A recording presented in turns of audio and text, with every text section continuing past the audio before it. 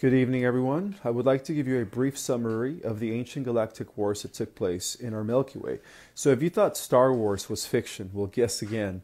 It turns out that the real wars in our galaxy took place millions and millions of years ago between two alien groups, okay? So the first ones, the benevolent ones who were our ancestors, were the Lyrans. The Lyrans originated in the constellation of Sirius B in the star system of Vega on a planet called Avion. From Avion, they peacefully expanded over into Avalon. From Avalon, they expanded over to Apex and, and populated gradually the constellation of Lyra. And from that point, they set out on a peaceful exploration to explore the Milky Way in service to the law of one, which is service to others. Now, on the other hand, we also had the Draco reptilians, who originated in the Alpha Draconis system and also in the Sigma system, which is in Lower Orion. And from Lower Orion, they expanded their empire to the Rigel system, the Betelgeuse system, and the Bellatrix system. And Zeta Reticula 1 eventually became overpowered by them, as well as Zeta Reticula 2. From those six systems, the Draco gradually wanted to bring a galactic empire to the entire galaxy. But, however, if it wasn't for the Lyrans who opposed the empire, we would have never been here at this point winning the final war against evil. Let me explain. So, the Lyrans, when they explored the Ring Nebula, they came across the Draco for the first time.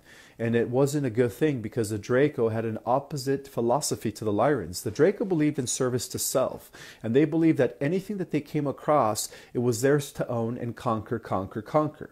So what they did is they started battling with the Lyrans. Eventually, because the Dracos had more advanced technological weaponry, they were able to kill off as many Lyrans as possible in the Ring Nebula.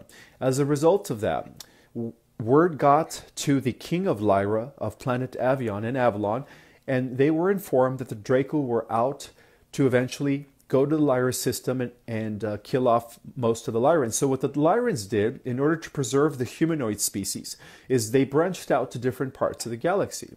So they went to the Pleiadian system, they went to Arcturus, they went to Sirius, they went to the Hadar system. They went to the Alpha Centauri system, the Epsilon Eridani system, just to name a few, in order to secure the human race, our ancestors, where we come from.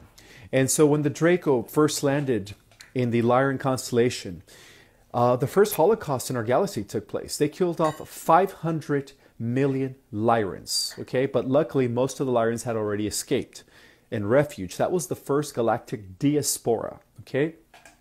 Eventually, the war reached the Orion Empire, and some of the Lyrans had already, from Vega, had already moved to Orion and began negotiating with the Draco. So eventually, what was known as the Draco Galactic Empire became the Orion Empire, with when some of the Dracos seduced some of the humanoid vegans. But at the same time, the different branches that took refuge in these other solar systems from the humanoid side of Lyra begin to create a coalition of light that later became the Confederation of Planets. Eventually, the Confederation of Planets developed into the Galactic Federation of Free Worlds. However, in Orion, some of the free humans who didn't believe in joining the Orion Empire began to rebel against the Orion Empire and they developed what became known as the Black League.